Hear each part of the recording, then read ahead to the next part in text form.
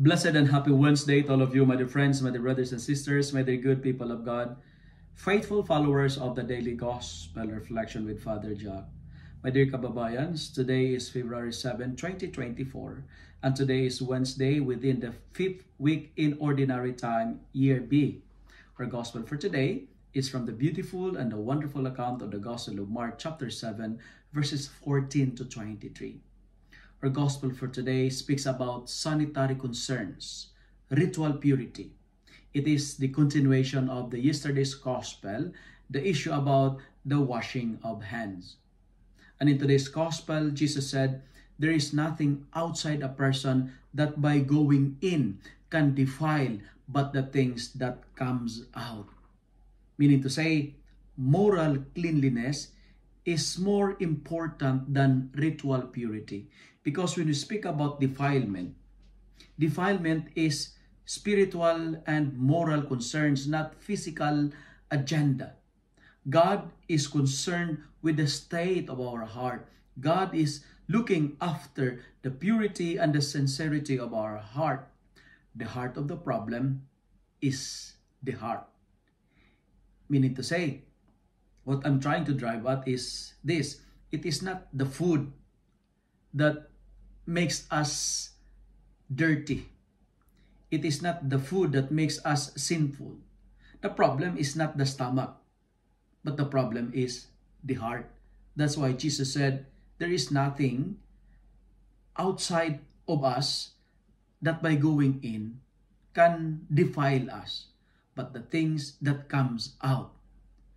So, my dear friends, my dear brothers and sisters, the problem is not the stomach, but the heart. Because evil or wickedness or sin begins in the heart. And eventually, it leads us to, to action. What we eat may make us dirty, but it won't make us a sinner, right? The food may not be healthy, but it won't make us unholy because food has nothing to do with our holiness. And now, what makes us dirty? And the gospel for today tells us something that makes us not clean. Fornication, murder, adultery, theft, wickedness, envy, slander, pride, you know, swearing, vices, uh, stealing, bad habits, you know, are, are addictions. That's why when, when you have an illicit affair with someone, it makes you dirty because unfaithfulness is a dirty activity. All these evil things that comes from, from within is what that defiles a person. That's why the invitation is let us check our inner self. What inside us that makes us dirty?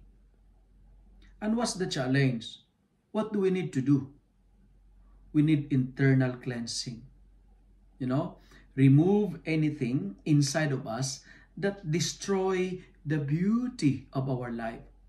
We need to watch our diet more than we we watch our I mean, we need to watch our heart more than we, we watch our diet. But the friends, what's eating you from the inside? What is inside of you that destroying the beauty of your life? We need to have internal cleansing.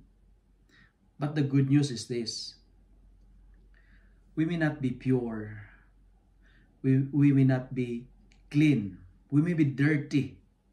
Perhaps there are things that defiles us. But the good news is we have a God who can clean us. We have a God who can make us pure again. Come to Jesus and tell him, change my heart, O God. If you love and like this reflection, kindly share it with your friends share it with your family so that many will be blessed. Amen.